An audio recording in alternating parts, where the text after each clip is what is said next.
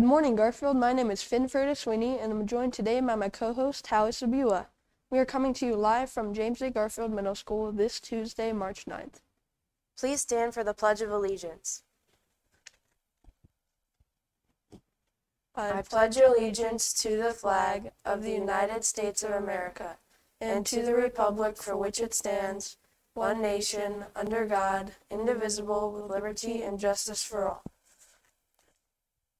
We can expect a mild day with times of clouds and sun. The high temperature will reach 63 degrees. Wednesday's forecast is very similar. Let's take a look at news and information you can use. The first optional math tournament practice will be held after school until 3:30 on Thursday. The Math Madness tournament will be held on March 25th. There will be awards and prizes. Student council members are welcome to come to Miss Schaefer's room after school on Monday the 15th to work on our spring project. Check Google Classroom for more details.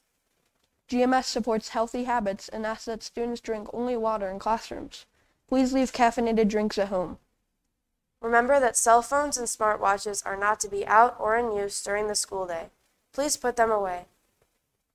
On this day in history, in 1776, Adam Smith published the influential economics book, The Wealth of Nations. In 1864, Ulysses S. Grant was appointed commander of the Union Army during the Civil War. In 1961, the Soviet flight Sputnik 9 carried and returned from orbit with a dog, frogs, and a guinea pig. In 2011, Space Shuttle Discovery made its final landing after 39 flights. Today we feature Grace Murray Hopper. At a very young age, Grace Murray Hopper showed an interest in engineering. She was born on December 9, 1906 in New York City.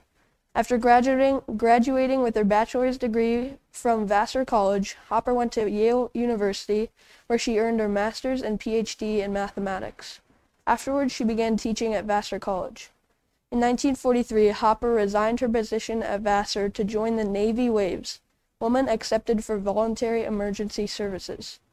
In 1944, she was commissioned as a lieutenant junior grade and assigned to the Bureau of Ordnance Computation Project at Harvard University. After the end of the war, Hopper became a research fellow on the Harvard faculty and in 1949 joined the Eckert Mauchly Co- Corporation, continuing her pioneering work on computer technology. Hopper was involved in the creation of UNIVAC, the first all electronic digital computer. She invented the first computer compiler, a program that translates written instructions into codes that computers read directly. This work led her to co develop the COBOL, one of the earliest standardized computer languages. COBOL enabled computers to respond to words in addition to numbers.